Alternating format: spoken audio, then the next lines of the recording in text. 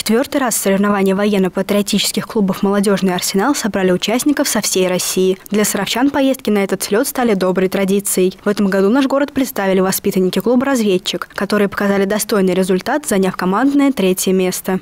Мне понравилось, в общем, все, кроме зарядки. В принципе, я доволен. Я не ожидал даже, что мы третьим не займем. Ребята активно готовились к соревнованиям, отрабатывали технику, тренировали выносливость и ловкость. Перед состязаниями организаторы подготовили для всех участников показательные выступления, чтобы ребята поняли, как правильно проходить испытания и набрали наибольшее количество очков. Приезжали специалисты, бывшие офицеры, отставники, либо действующие офицеры, проводили с детьми занятий первый день.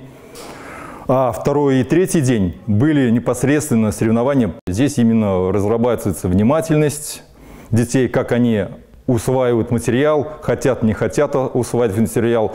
А что-то некоторые а, знают из своих клубов, им преподают. Ну, в основном решает все финал, когда побеждает сильнейший. Участники соревновались в 14 дисциплинах, по итогам которых каждой команде начислялись баллы. Один из лидеров Саровской команды Александр Суханин. Юноша занимается в клубе «Разведчик» два с половиной года и накопил большой соревновательный опыт, который помог ему пройти все этапы. Самым сложным этапом для меня а, показалась засада, так как надо было быстро сориентироваться и занять круговую оборону. А самым легким – Этапом показалась переправа. Всего в соревнованиях приняли участие более 200 человек из разных регионов России. Саров представили 9 ребят, которые достойно прошли все этапы. Всех участников наградили грамотами и памятными призами.